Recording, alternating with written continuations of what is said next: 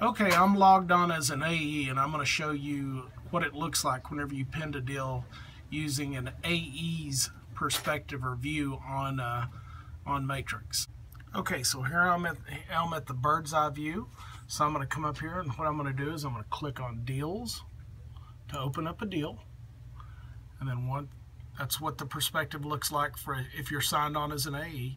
Then I'm going to come over here to just I'm just going to pick pick an account here. Pick an account here and then I'm going to click on that in order to open a deal. And as you'll see here in a second, she this AE has set up her default rev types and because she's done that it automatically populated with a default rev type here so all she needs to do now is just come in here and type in the amount of how much she wants to pend against each of the stations. If she wanted to change that see it defaulted to spot news she just clicks there and changes it. But at least it has something in there.